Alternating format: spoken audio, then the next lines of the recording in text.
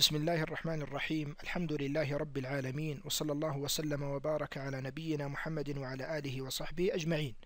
أيها الإخوة الكرام السلام عليكم ورحمة الله وبركاته. وبعد لا زال الحديث عن المرأة وعن الشبه المثارة عن المرأة في الإسلام. وقد تحدثت في اللقاء الماضي عن الشبهة الرابعة حول تعدد الزوجات وعن الشبهة الخامسة عن حجاب المرأة المسلمة. وفي هذا اللقاء إن شاء الله سأستكمل الحديث عن الشبه فأقول الشبهة السادسة التي يثيرها أعداء الإسلام والمسلمين وأيضا بعض أبناء المسلمين وللأسف من المخدوعين بآرائهم وشعاراتهم. هذه الشبهة خاصة عن الإرث. يقول أولئك أن الإسلام أساء إلى المرأة وظلمها حين جعل نصيبها من الميراث نصف نصيب الرجل. وللجواب عن هذه الشبهة أقول إن الإسلام ولله الحمد ارتفع بنظام الإرث عما كان معمولا به قبله قبل الإسلام سواء كان في الجاهلية أو في غيرها بل ارتفع به عن كثير من الديانات والحضارات الأخرى غير الإسلامية الذين يورثون الرجال دون النساء. لكن الإسلام راعى في توزيع الإرث أمور مهمة منها أو من أهمها أنه راعى مقدار حاجة الوارث إلى المال ولو بعد حين. فكلما كانت حاجة الوارث أشد كان نصيبه من من التركة أكثر. ولعل ذلك هو السر في أن, في أن نصيب الأولاد أكثر من نصيب الأبوين مع أنهما في درجة واحدة في القرابة. ولكن لما كانت حاجة الأولاد إلى المال أشد كانت حصتهم في الميراث أكثر لأنهم في الغالب محتاجون. وهم يستقبلون الحياة بتكاليفها ولوازمها ومتطلباتها المالية. أما الوالدان فهما في الغالب من أصحاب الأموال فضلا عن أنهما يستدبران الحياة فحاجتهما إلى المال ليست كحاجة الأولاد الصاعدين في سلم الحياة. ومثل ما راعى الإسلام في توزيع الميراث بين الورثة شدة الحاجة إلى المال وأعطى صاحب الحاجة الملحة نصيبا أكثر من غيره فقد راعى هذا المبدأ أيضا حينما جعل نصيب الذكر ضعف نصيب الأنثى لماذا؟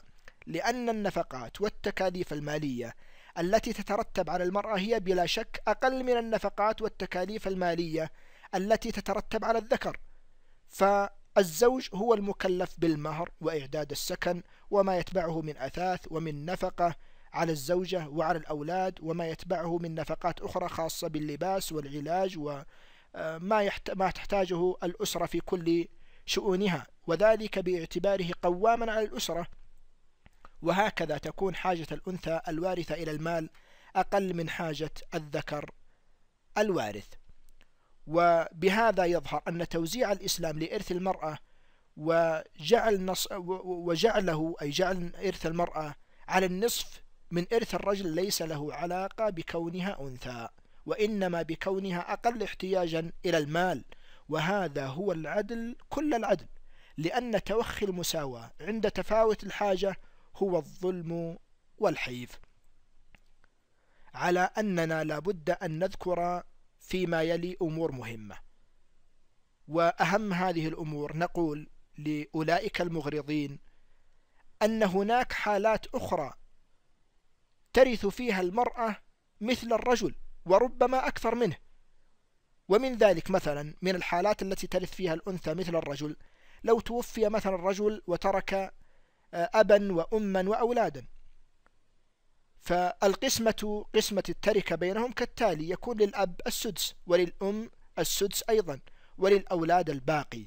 ففي هذه المسألة نرى أن نصيب الأم الأنثى كنصيب الأب الذكر وأن الأولاد أخذوا أكثر منهما معا لأن حاجتهم أكثر من حاجة الوالدين.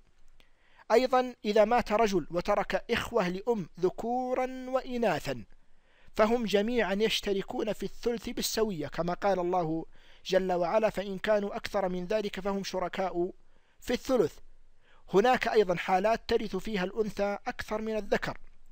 ومن هذه الحالات لو ماتت مثلا امرأة وتركت زوجا وبنتا وعما فتقسيم المسألة على النحو التالي يكون للزوج الربع. الربع نعم.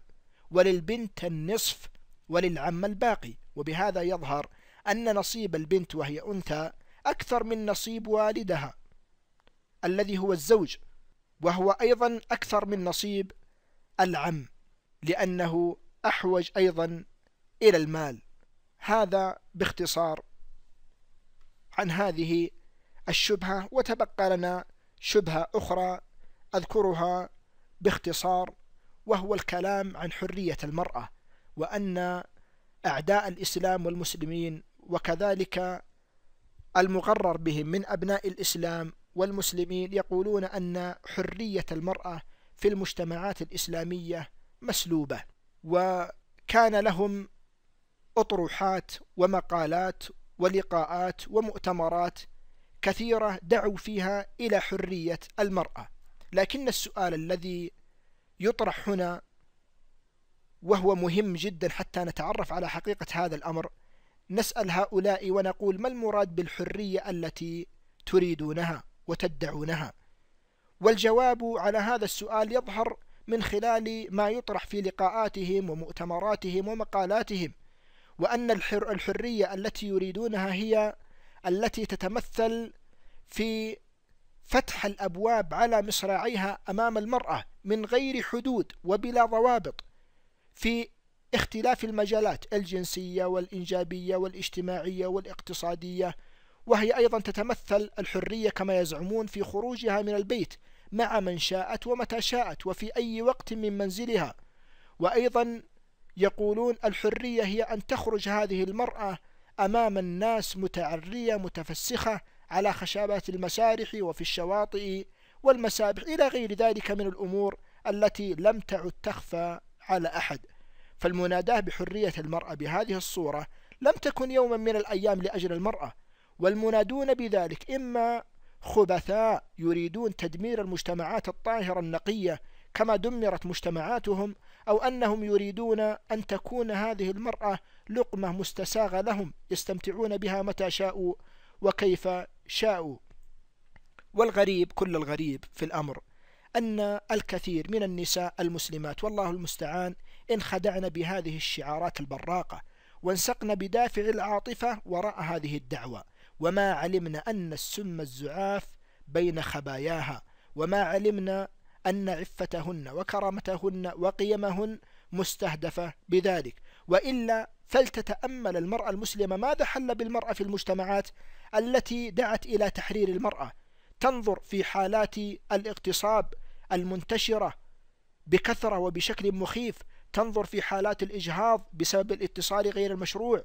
تنظر في التهرب من الإنجاب تنظر في استخدام المرأة في كثير من الأعمال المبتذلة والمشبوهة كالعمل في دور البغاء وفي ترويج المخدرات وفي التمثيل والرقص والدعاية والدعارة وغيرها. تنظر في ما حصل لحقوق المرأة من هضم وإلحاق الضرر بها. هذا الذي يوجد في المجتمعات الغربية وهذا هو المطلوب والمأمول من إعطاء المرأة حريتها بالشكل الذي رسمه الغرب لها.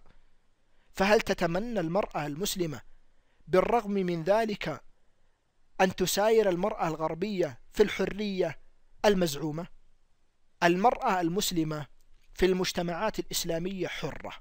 نعم إن المرأة في المجتمع المسلم حرة هي حرة حرية حرية تصون كرامتها وتحفظ عرضها وتجلب حقها إنها حرة في كل شيء إلا في الإضرار بنفسها أو بالآخرين.